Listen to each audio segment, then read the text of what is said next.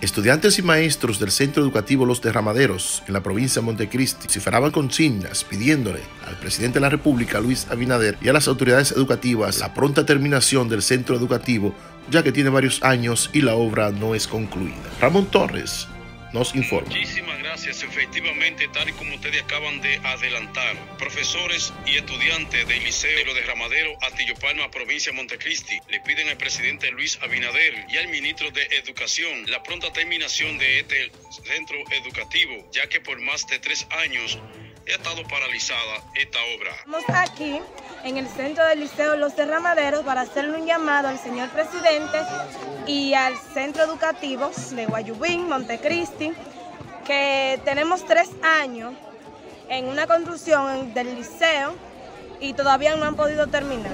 Mi nombre es Sandy Jiménez y queremos hacer un llamado al, señor presidente, al Ministerio de Educación, para que por favor nos ayude a terminar el centro educativo de la comunidad los derramaderos, que tienen tres años sin, sin obrar.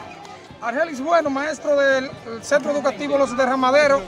Por este medio le estamos haciendo un llamado al presidente de la República, Luis Abinader, también al ministro de Educación, Roberto Buscar. Aquí en nuestras comunidades tenemos la construcción del liceo, pero tiene tres años paralizada.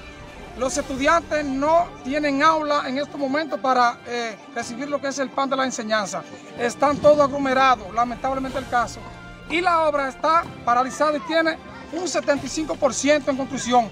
Es decir, que hace falta un 25%. Entonces le hacemos un llamado a las autoridades, por favor, que vengan en auxilio de nuestra comunidad de los derramaderos para que terminen dicha construcción. Para Tirando Duros, desde República Dominicana, Ramón Torres.